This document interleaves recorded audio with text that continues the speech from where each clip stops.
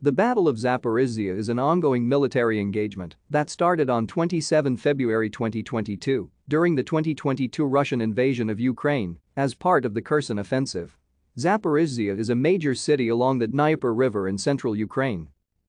On 26 February, the Russian 22nd Army advanced north from Crimea and began approaching the Zaporizhzhia nuclear power plant. On 27 February, some fighting was reported in the southern outskirts of Zaporizhzhia, with no causalities reported. Russian forces began shelling Zaporizhzhia later that evening.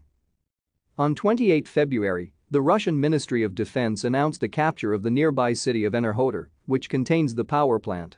However, the mayor of Enerhodar denied the claim that Ukrainian forces had lost control of the city. Thank you for watching.